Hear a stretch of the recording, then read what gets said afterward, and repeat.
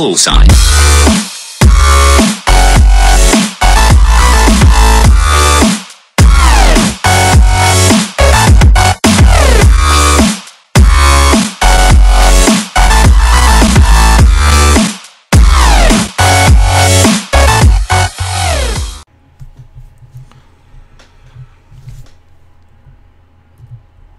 Hallo, einen wunderschönen guten Morgen.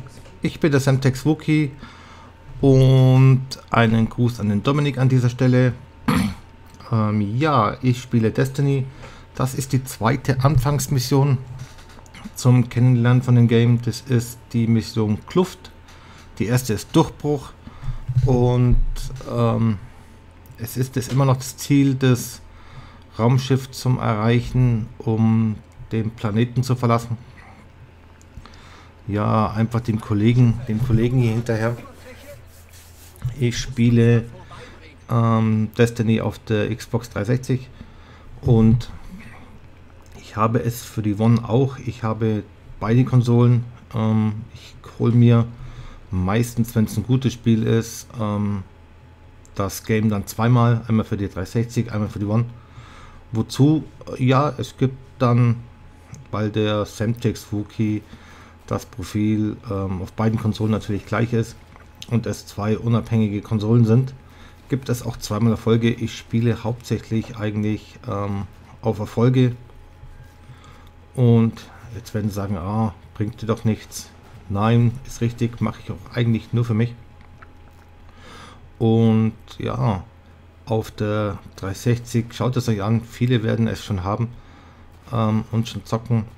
Hm, die Grafik ist nur gut. Also ich glaube, dass wenn das, wenn die, wenn die Anfangsmissionen mal vorbei sind und das Raumschiff dich wegbringt auf den Planeten, auf die letzte bewohnte Stadt auf Erden und dass das Spiel dann richtig losgeht, dass das richtig gut wird. Also da bin ich dann mal gespannt drauf. Nochmal, warum ich zwei Konsolen habe, da ich ja wie gesagt ähm, auf Erfolge spiele. Es bringt jetzt zwar nichts, aber ja, warum denn nicht? Ich meine, das passt schon. Das ist ja okay so. Und die Leute, also ich in meiner Freundesliste habe ich auch einige, die was das genauso machen. Das ist schon okay. Nochmal zu dem Game.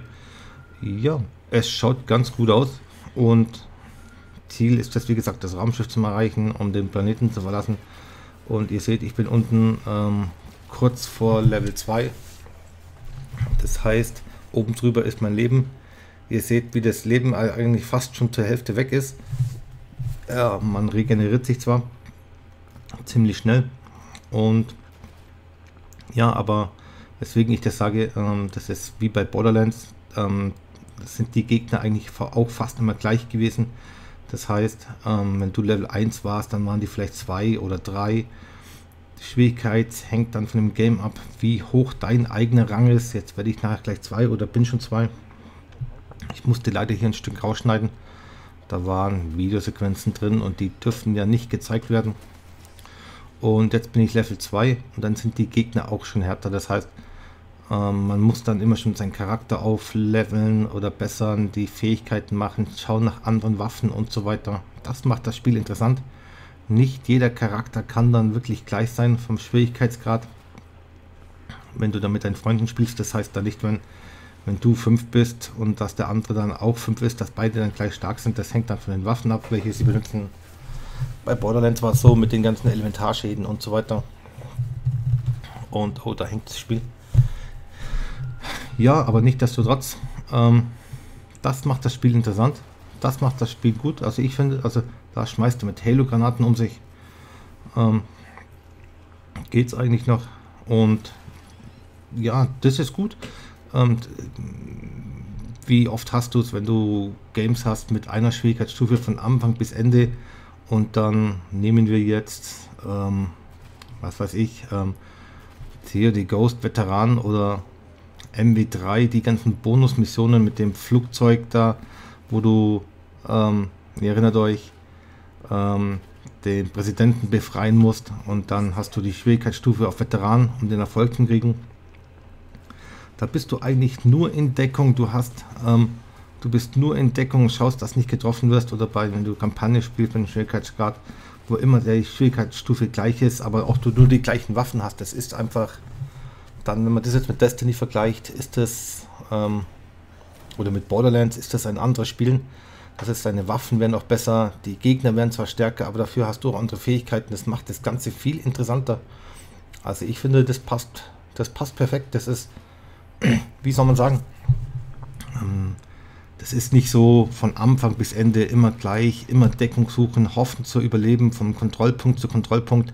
Hier kannst du dich dann noch bewegen, wenn du dann noch Waffen aufgebessert hast, wenn du mal ein paar Level erreicht hast und Fähigkeiten gemacht hast, dann hängt es davon ab, wie du deine Fähigkeitspunkte eingesetzt hast, welche Waffen du bei hast, ob du es verbessert hast schon und so weiter.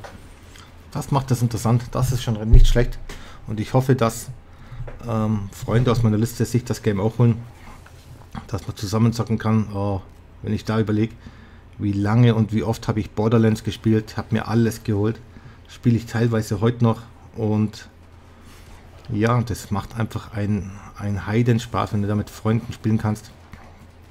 Und ich hoffe, dass das da auch so ist. Jetzt ist der Kollege gleich kaputt und dann geht es zum Raumschiff. Ja, ich werde weitere Folgen hochladen. Ich wünsche euch trotzdem noch viel Spaß. Haut rein, euer Wookie.